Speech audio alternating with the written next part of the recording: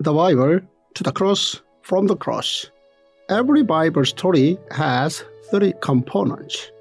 First, God's law. Second, God's compassion. Third, God's miracle. Opening your Bible opens miracles. The Bible as one story is wholly enough in our lives. Day 86, Judges 19 to 21. Assembly called without principle. One event that began with the death of a Levite's concubine caused all Israel to fight in battle. This summarizes the chaos that was frequent during the era of Judges. First point during the era of Judges, not only an individual, a family, and a tribe acted according to their own wills, but even the assembly did as they pleased. According to the laws in a kingdom of priests, Israelite men who were over the age of 20 were expected to attend the three annual festivals in order to stand before God's presence and to bring tithe. If this system had been maintained, then problems would have been a lot less ugly. If they had kept to this system, the people of Israel would have experienced God's forgiveness, sharing among neighbors, and peace with other nations. But unfortunately, the era of Judges was a time when this collapsed. This led to internal and external conflicts, as well as misunderstandings between the people. Second point, a Levite who lived according to his own will made two bad decisions. The Bible records an instance of a Levite during the era of Judges. This Levite committed two serious sins. The first was disobeying the laws concerning the priests and the Levites. In a kingdom of priests, they must not marry women defiled by prostitution or divorced from their husbands because priests are holy to their God. He did accordingly to his own will rather than following the regulations that was given to him. In those days, Israel had no king. Now, a Levite who lived in a remote area in the hill country of Ephraim took a concubine from Bethlehem in Judah. The second was foolishly interpreting the incident of Gibeah and making unnecessary internal conflict between the people. He said to her, Get up, let's go. But there was no answer. Then the man put her on his donkey and set out for home. When he reached home, he took a knife and cut up his concubine limb by limb into 12 parts and sent them into all the areas of Israel.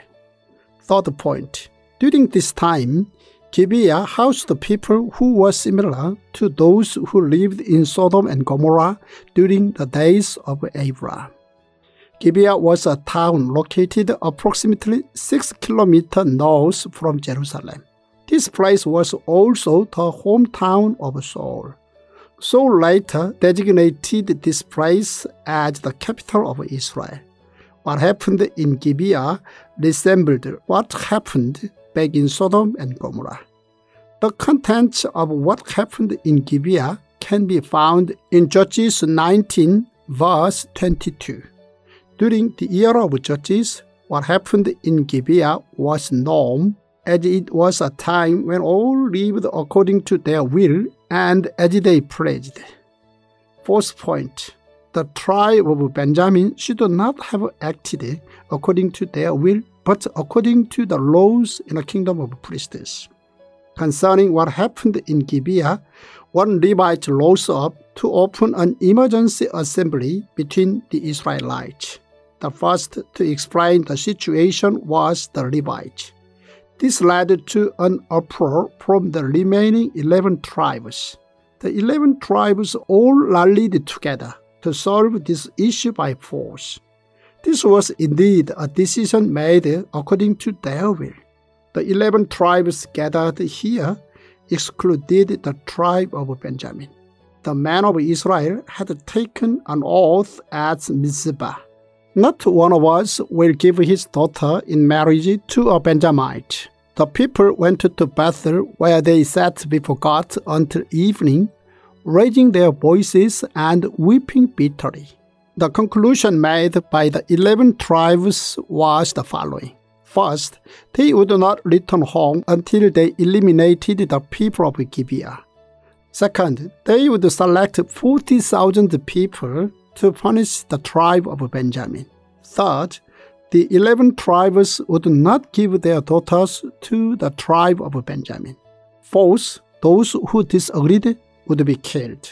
The eleven tribes gathered and agreed to such a foolish outcome, and then forced the tribe of Benjamin to follow.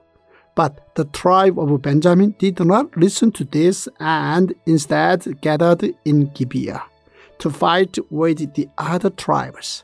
They also acted according to their will.